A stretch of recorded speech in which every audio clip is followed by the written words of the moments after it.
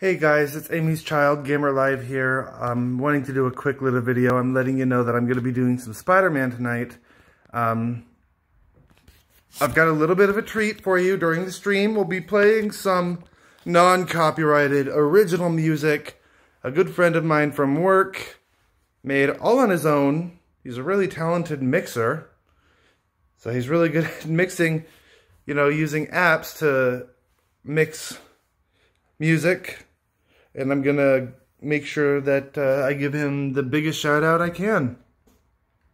I don't think he'll be watching though. But yeah, I've been wanting to say tomorrow is election day here in the US with uh, the president being elected, chosen. And I'm not going to tell you guys who I voted for. I've already voted because I want you to know I love you guys regardless. Okay? I don't want you to think that I've got any bias and I don't want to influence anybody else's opinion on any specific candidate.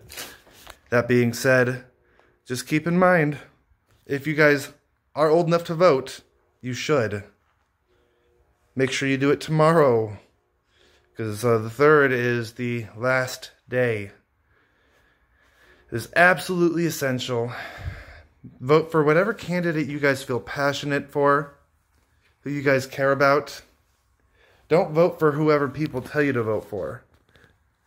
Don't let your voice be silenced. Vote for a candidate that speaks to you.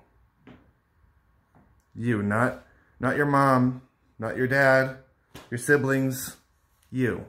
I want you to know, if you do vote, if you're old enough to vote, and whoever you do vote for, just know that I love you. Regardless of who you choose to vote for. I will uh, see you guys in like 40 minutes. Okay?